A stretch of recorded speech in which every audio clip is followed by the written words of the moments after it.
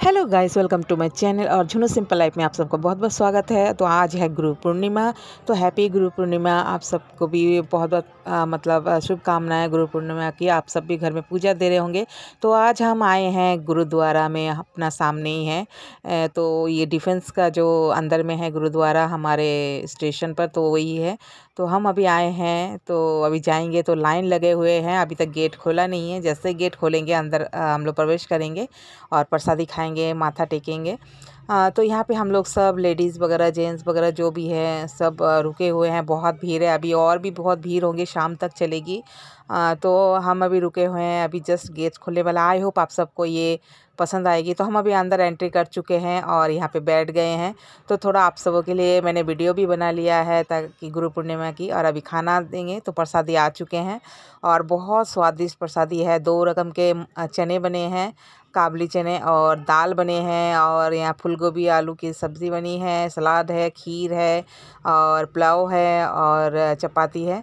आ, तो प्रसादी बहुत ही टेस्टी है, नियमित ही फुल पेट हमने भोजन किया, बहुत मज़ा आया खा के।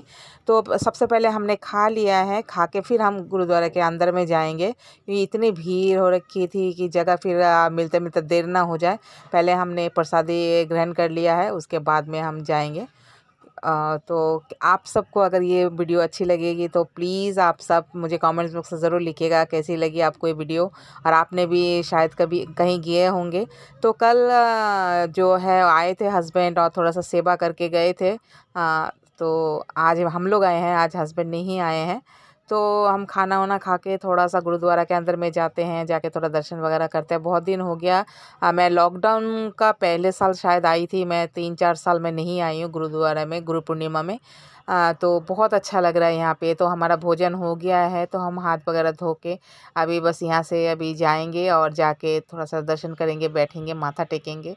तो जाने का दिल नहीं हो रहा है घर से मतलब घर में आ, क्योंकि इतना अच्छा लग रहा है इतना भीड़ भाड़ है तो भी बहुत अच्छा लग रहा है पुराने जितने हैं हमारे जान पहचान के सब मिल जाते हैं और बहुत दूर दूर से भी आते हैं। तो ये है हमारे गुरुद्वारा के अंदर में है और सब लोग अभी दर्शन के लिए बाबा जी का दर्शन के लिए अभी अंदर हम लोग को घुमाएँगे। तो आज पहली बार मैं चालीस साल से ऊपर हो गया है मेरा यहाँ पे आसाम में हूँ। तो फ़र्स्ट टाइम जो है बाबा जी का अंदर से मैं वहाँ से घूम के परिक्रमा करेंगे। तो आज मौका मिला है और ये बहुत अच्छा सौभाग्य है जो हमें मिला है। तो हम अंदर से घूमते हुए बाहर निकलेंगे। तो वीडियो मैंने की थी लेकिन पता नहीं, शायद वीडियो लॉन्ग हो गई, वीडियो नहीं दिखा पाए आप सबको। इसके लिए सॉरी, अंदर में इतना सुंदर था बाबा जी का। तो हम अभी थोड़ा सा बैठना होता है तो हम अभी यहाँ पे बैठे हैं, बैठ के दो मिनट पाँच मिनट बैठेंगे। फिर गए हैं बाहर बाहर देखा तो प्रसाद दे रहे जो हलवा और हमें इसका बहुत आशा रहता है कि हलवा मिले। तो भगवान का घर देर है, अंदर नहीं है, पता चल गया तो बाहर ही हलवा लेके बैठे थे। तो हलवा हमें मिल गए हैं तो हम अभी हलवा खाते खाते अभी जाएँगे घर। और बहुत मज़ा आया आज का दिन, गुरु पूर्णिमा का दिन बहुत बहुत मज़ा आया। सबसे बहुत सुंदर सा डेकोरेशन भी किया है, आप सबको अच्छी लगेगी, देखिए। क्या आप सबके वहाँ पे भी गुरुद्वारा में ऐसे करते होंगे तो मुझे ज़रूर कमेंट बॉक्स में लिखिएगा।